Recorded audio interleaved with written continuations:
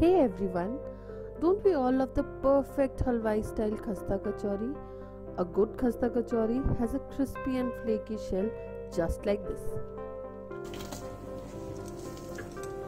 Watch till the end of this video because we are going to share with you those tiny details that will let you make the most crunchiest and flakiest kachoris at home.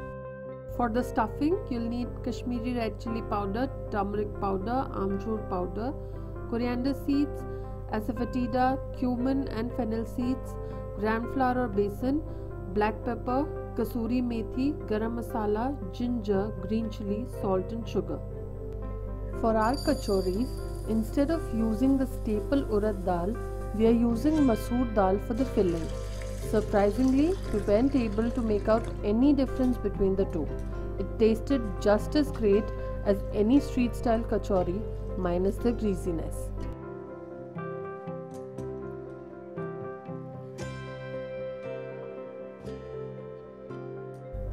The reason behind dry roasting the spices is by doing so, the spices release their natural oil and they tend to become more aromatic and flavorsome.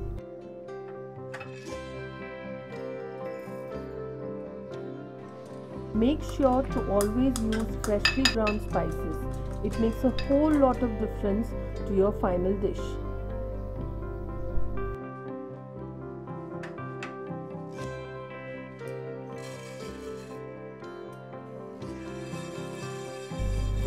While roasting the spices, a common mistake people make is to roast it on a high flame, thereby burning the spices.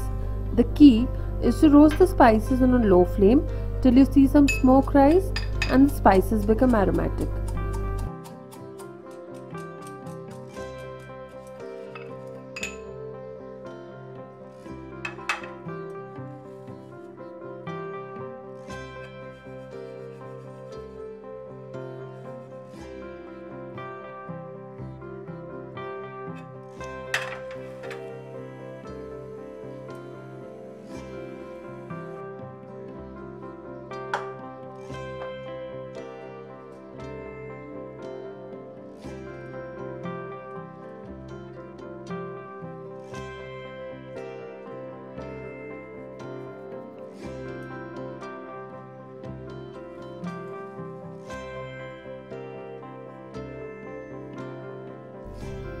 The hot oil or ghee provides tenderness and flavor to the crust. They also help enhance the volume of the dough and make it soft and pliable. Initially, you just need to incorporate all the ingredients into a wet dough. The extra moisture prevents the dough from drying out since this dough has to rest and then be kneaded again twice before making the kachoris.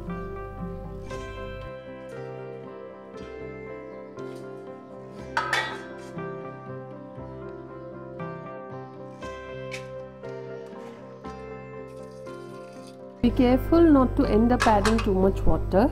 We're going for a slightly dry and mushy texture for the dal.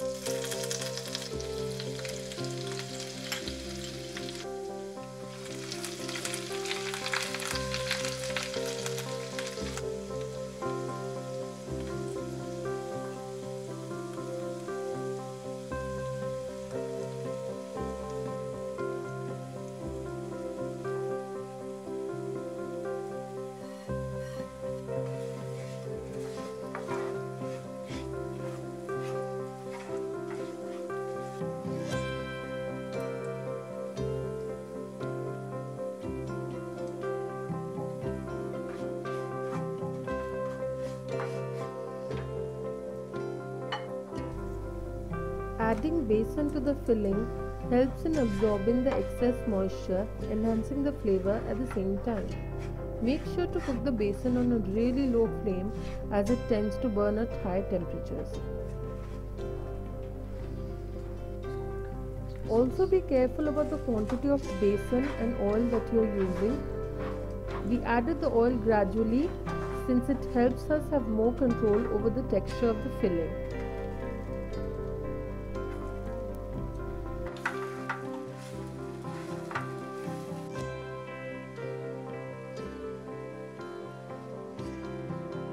Some people prefer their kachoris to be slightly sweet.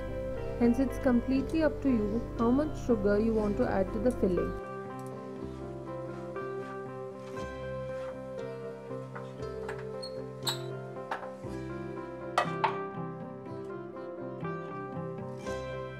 Once cooked, take it off the flame and let it cool down completely.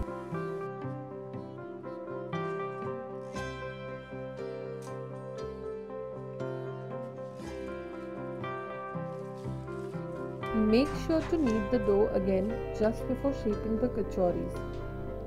Divide the dough into equal sized balls. An 80 grams ball is just right for your average size kachori.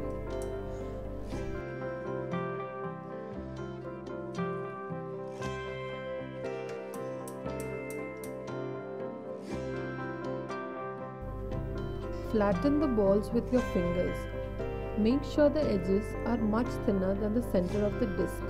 The size is similar to the ones you find being sold on the street side or the sweet shops. Take about 30 grams of dough to make mini kachoris. Make small and equal sized balls out of the filling and stuff it in each disc.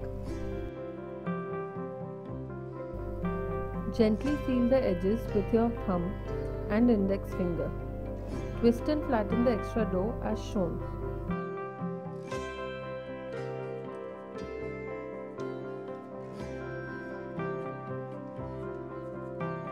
Flatten the kachoris with your fingers to form a thick disc-like shape. These kachoris are stuffed by using two simple techniques shown here. You can get creative as long as you ensure that the stuffing does not come out of the crust while frying.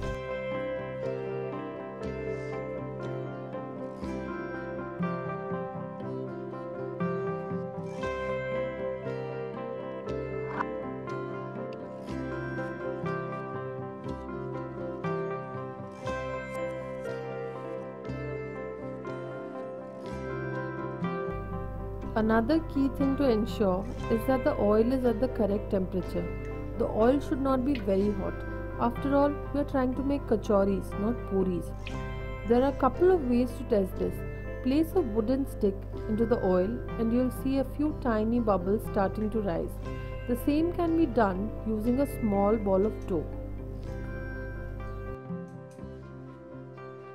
You need to cook the kachoris on a low temperature for about 20 minutes. Only then will you be able to achieve a crispy and flaky shell. Do not move the kachoris once they are in the oil till they leave the bottom of the pan. Flip them once they rise to the surface of the oil.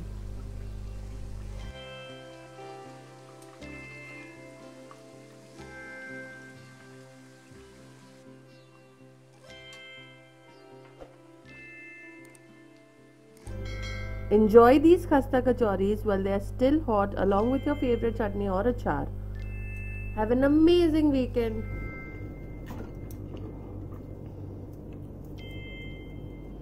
मासी का YouTube channel अच्छा लगा तो please like कर देना share कर देना subscribe कर देना और कमेंट भी कर देना थैंक यू बाय